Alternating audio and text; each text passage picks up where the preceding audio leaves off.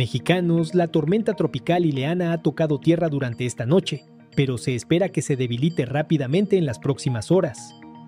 Sin embargo, siete estados se encuentran en riesgo severo, incluyendo Sonora y Sinaloa, que podrían enfrentar lluvias torrenciales, y Baja California Sur, con lluvias muy fuertes.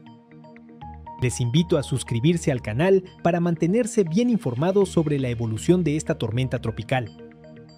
De acuerdo con el Servicio Meteorológico Nacional, existe la posibilidad de inundaciones y deslaves en las zonas afectadas. Ileana continuará generando fuertes lluvias durante esta noche, luego de haber provocado acumulaciones severas ayer en Sinaloa de hasta 95 milímetros. Además, se esperan fuertes vientos y oleaje elevado en algunas costas.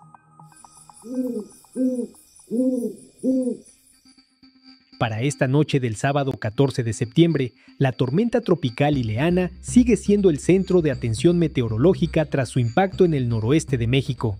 Contamos con un sistema activo principal esta noche, la tormenta tropical Ileana, que actualmente se encuentra en Sinaloa después de haber tocado tierra en Ahome. A diferencia de ayer, cuando Ileana se aproximaba a tierra, hoy ya ha tocado tierra y se espera que se debilite rápidamente durante la noche y madrugada. Los efectos de la tormenta siguen presentes con cambios significativos en las condiciones climáticas.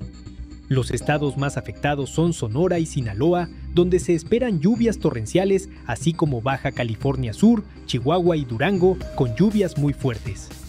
Se prevén eventos de lluvias significativos en varios estados, destacando Coahuila, Nuevo León, Tamaulipas, San Luis Potosí, Michoacán, Guanajuato y Querétaro.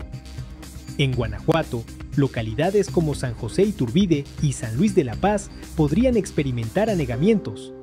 En Tamaulipas, Ciudad Mante también se enfrenta a posibles inundaciones. Querétaro no se queda atrás, con San Pablo Tolimán recibiendo abundantes precipitaciones. Más adelante en el video detallaremos otras localidades que también sentirán el impacto de estas lluvias. Se esperan vientos con rachas que podrían alcanzar los 60 km por hora, afectando principalmente a estados del norte como Baja California, Sonora, Chihuahua, Coahuila, Nuevo León y Tamaulipas. Aunque no se reportan rachas significativas a nivel municipal, estas condiciones de viento pueden provocar tolvaneras en las áreas mencionadas. Las temperaturas máximas podrían llegar a los 40 centígrados en estados como Baja California y Sonora, mientras que en zonas montañosas de Chihuahua, Durango y Estado de México, las mínimas podrían descender hasta los 5 centígrados. En Campeche, localidades como San Antonio y Nunquini enfrentan un calor intenso, al igual que Mexicali en Baja California y varias localidades en Yucatán. El oleaje podría alcanzar alturas